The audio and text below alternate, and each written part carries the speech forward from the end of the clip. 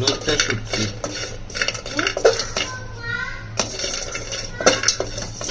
প্রথমে ছোট ছোট করে কাটতে হবে, কেটে এভাবে ভাজতে হবে। ভাজার পরে আপনারা পেঁয়াজ দিয়ে শুকনো শুকনো করে মশলা মশলা করেও খেতে পারেন, অথবা পেটে ভর্তা করেও খেতে পারেন।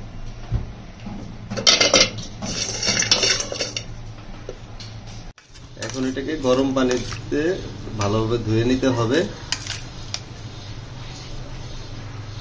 ধোয়ার পরে যে ধুলাবালিগুলো ছিল, ময়লাগুলো ছিল, এটা পরিষ্কার হয়ে যাবে। তারপরে আমাদের রান্নায় যেতে হবে। পেঁয়াজ কুচি করে নেবেন মোটামুটি আপনার কতটুকু শুটকি এর উপর ডিপেন্ড করে, আর কাঁচামরিচ যে পরিমাণ আপনাদের লাগে সেই পরিমাণ আদা, রসুন ছেঁচেও একটু দিতে হবে। কয়েকটা কোয়া নিয়েছি রসুনের। এগুলো রেডি হওয়ার পরে তারপরে আপনাদের কীভাবে রান্না করতে হয় সেটা দেখাবো। মরিচগুলাকে কুচি কুচি করা হয়েছে, আর এখানে যে মশলা দেখতে আর মরিচের গুঁড়া, হলুদের গুঁড়া, জিরার গুঁড়া, ধনিয়ার গুঁড়া, সব এক চামচ করে নেওয়া হয়েছে, আর লবণ পরিমাণ মতো নেবেন।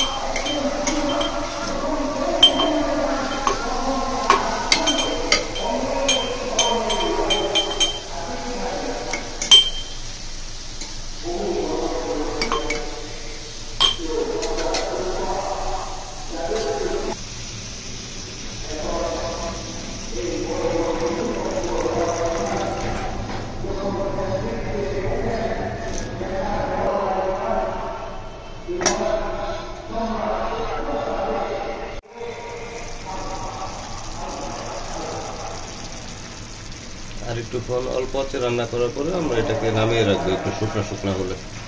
Viewers thanks for watching please subscribe my channel thank you